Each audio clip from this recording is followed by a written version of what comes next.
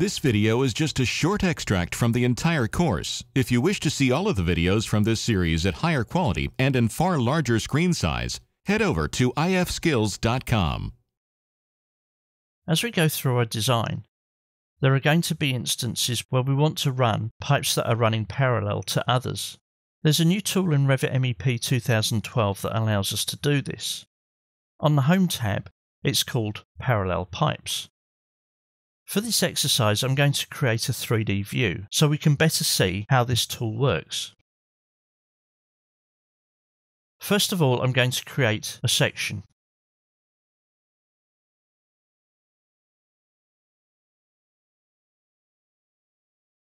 Let's take a look at the section and just review where it is.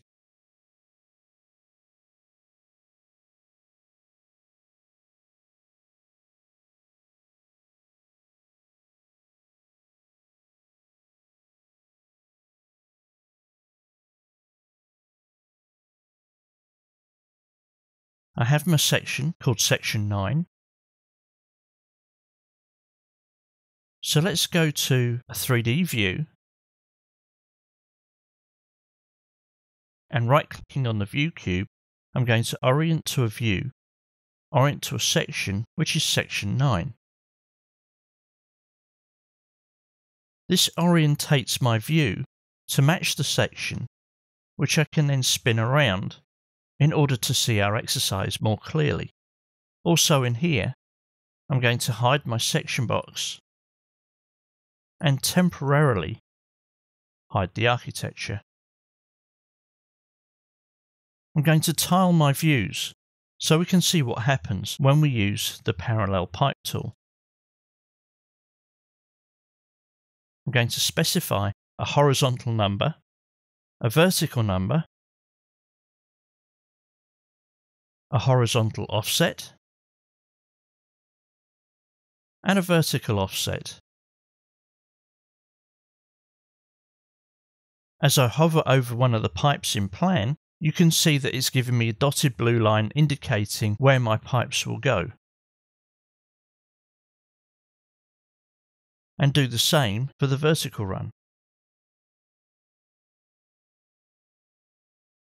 I will have to come into here and tidy this up. I can do this in Plan from the Modify tab and using the Trim tool.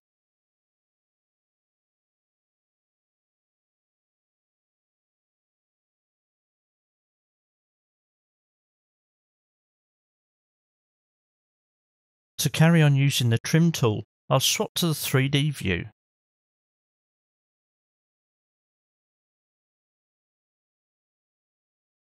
Maybe turn line weights off, and I can carry on with the task of trimming the pipes.